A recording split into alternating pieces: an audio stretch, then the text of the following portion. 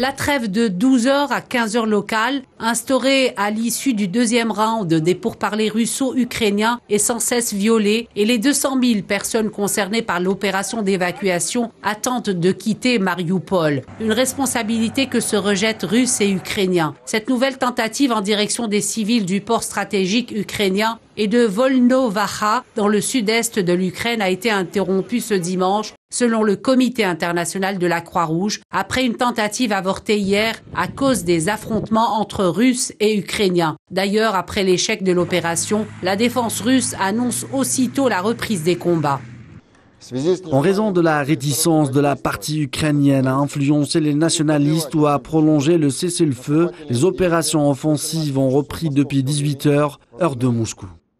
Le couloir humanitaire devait être ouvert ce dimanche à midi, soit 10 heures en temps universel. Selon la municipalité de Mariupol, l'accord de cessez-le-feu temporaire a été convenu avec les forces russes dans le secteur. Au onzième jour de l'offensive russe en Ukraine, Mariupol est sous blocus humanitaire et connaît une situation très difficile, selon son maire Vadim Boychenko. Selon lui, les bombardements ces derniers jours ont fait des milliers de blessés et les habitants de la ville sont privés d'eau, de nourriture, de chauffage et d'électricité. La chute de Mariupol, selon les stratèges militaires, permettrait la jonction entre les troupes en provenance de la Crimée ayant déjà sous leur contrôle les ports clés de Berdiansk et de Kherson et celles du Donbass. Ces deux forces consolidées pourraient ensuite remonter vers le centre et le nord de l'Ukraine.